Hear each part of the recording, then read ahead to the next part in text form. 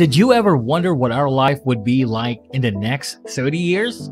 As humanity continues to develop new technology faster than ever before, it is believed that our world will be completely different from how it is today.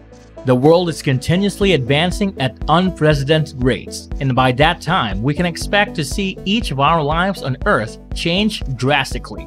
If this is true, then what do you expect from the future?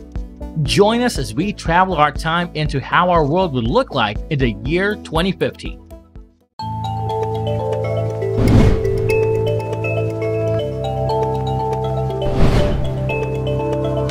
Let us start with what's at the top of everyone's future bucket list, which is space tours and travel.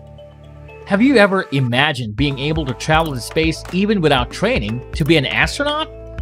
How fascinating would it be to be able to fly around the moon, right?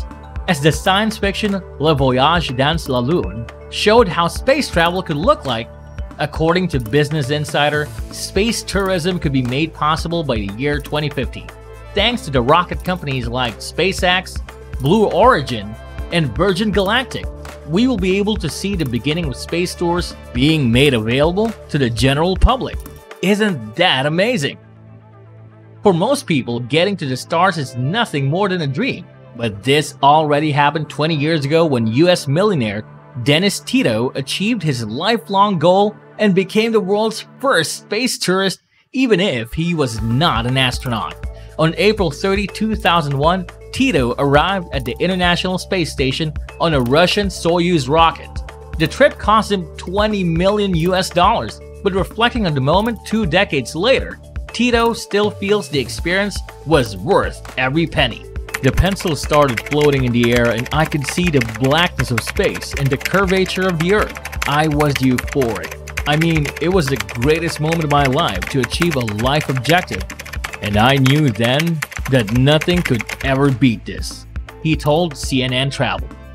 Unfortunately, it would cost you a fortune in order for you to occupy an interstellar seat and Virgin Galactic has already sold about 600 of their tickets at a price between $200,000 and 250,000 each, bought by rich people including celebrities like Leonardo DiCaprio, Justin Bieber, and Peter Thiel. So, if you want to experience traveling through space, you better start saving your money now. By 2050, artificial intelligence will already be insanely good.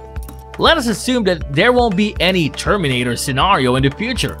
Won't the rise of artificial intelligence generally be a good thing? Robots taking over our jobs is not as harsh as it sounds. While robots could replace some workers, it's important to remember that past innovations have unlocked whole new industries and new jobs along with them, and the rise of AI could do the same. What's more, think how much better robots could make our world. Hans Moravec of Carnegie Mellon University's Robotics Institute predicts that by 2050, freely moving robots that outperform humans both physically and intellectually will run entire businesses by themselves. In fact, it's not going to be as hard as it as it has looked for a while. This will cause a massive influx of social jobs and works that require one's imagination, empathy, and interaction cheaper goods and services can also be seen once this happened. Automated production lines are cheaper to run and are far more efficient. So, despite CEOs being eager to hold on to additional profits, the market may force a drop in price for many things, including cars, electronic goods, and even food.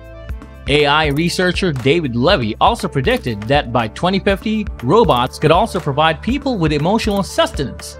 There would be human-like robots with their own emotions and the capability to hold intelligent conversations and, yes, relationships with people. Is this the ultimate sex toy? Levy wrote in New Scientist. It could be considered as such, but the sophisticated sex robots of the middle of this century would also be valued as relationship partners in the widest sense of the word, someone to love. Well, what do you think about that? Advancements in neuroprosthetic field can also be seen by 2050. Knowing that it's not easy to come up with an invention that can make you control everything with your mind, neuroprosthetics is already out of the market as of this time. In 2013, the FDA already approved cochlear implants, retinal implants, and brain implants, sending electrical impulses in people's brains with Parkinson's disease. With Elon Musk's Neuralink and other neuroprosthetics being released, the hope for the diseased and paralyzed was made genuinely possible. And anyone who would like to control anything from their mind can make this possible with the use of this technology in the future. But regardless of how technological and fascinating our future sounds, like from the past minutes, we cannot deny that not everyone is excited about the future. There are currently around 7.6 billion people living on this little planet we call Earth, and by 2050, this number is projected to rise to a staggering 9.7 billion. The extra mouths to feed, bodies to clothe, and people to house will undoubtedly bring huge changes in different industries. With the continuous growth of population, global warming will continue to pose a legitimate threat and it is only going to be more noticeable by the year 2050 if we do nothing about it. Getting the planet carbon neutral is a long shot for sure, but it is possible. By 2050, the majority of the Earth's energy will most likely be derived from renewable sources. This will certainly help to bring the planet's carbon footprint down to a minimum and will also encourage the entire transport to go green as well. In most of our previous videos, we also featured some of the technological advancements that our future may hold, such as the rise of nanotechnology, 3D printing body parts, freezing your body to extend your life, advanced drones, surgery robots, and more. These technologies surely have a long way to go, and there is definitely a lot more to look forward to as 2050 comes. Advancements in technology are always there, pushing ever forward towards new and exciting breakthroughs. 10 years ago, early smartphones were still in their relative infancy. Today, we carry around powerful mini computers in our pockets and purses, capable of accessing the entirety of the internet's wealth of information. However, we must hope that these advancements will push away from the environmental problems that our world faces towards the better and more prosperous future that we may have.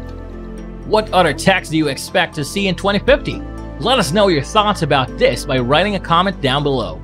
We hope you enjoyed and learned something from this video. If you did, make sure you like this video and subscribe to our channel for more awesome and substantial videos like this one. Thanks for watching!